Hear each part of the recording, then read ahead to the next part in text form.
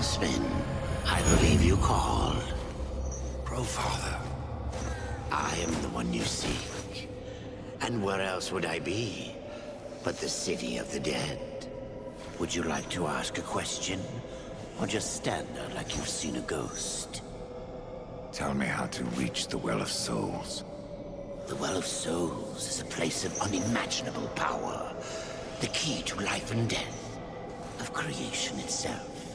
And that is why the well has a key of its own. One that was divided long ago. The angels keep one half, and the demons the other.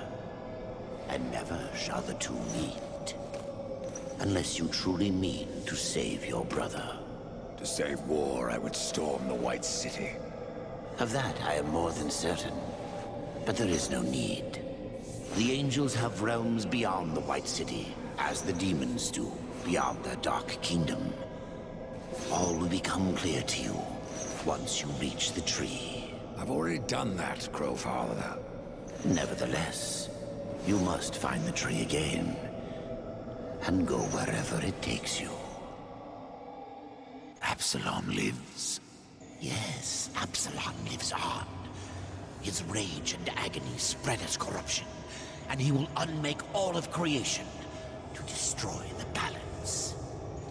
Killed Absalom once, Crowfather. If I could go back, I would see him spared. I doubt he would grant you the same courtesy. How can I restore humanity? The Well of Souls is where all life begins. Where the souls of the dead are born into their new lives. I killed the beast that haunted this place. I freed the souls of humanity. And in other times, that would be enough. But something draws power from the well, leaving only void where there once was life. I fear you have only released the souls into further torment. Then there is no hope. Humanity is lost. Not so. Even now, you carry with you the power to restore the well. The Nephilim? If you sacrifice their souls, yes.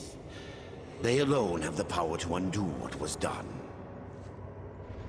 So I must sacrifice the Nephilim, my kin, to restore mankind? The Nephilim are dead, by your own hand.